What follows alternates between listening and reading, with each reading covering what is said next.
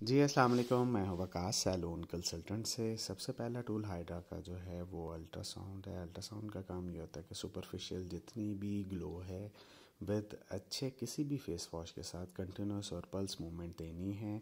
और इस चीज़ का ख्याल रखना है कि आपने डूप मूवमेंट्स के साथ काम करना है। सेकंड जो है, वो स्क्रबर है। स्क्रबर के साथ कोई भी अच्छे ब्रांड का आप एक्सफोलिएटर यूज़ कर सकते हैं ताकि ये डीप क्लिनजिंग करे और सुपरफिशियल डर्ट रिमूव कर सके। इसकी भी मूवमेंट अगर आप देखें, डाउन टू अपवर्ड है और in to outward.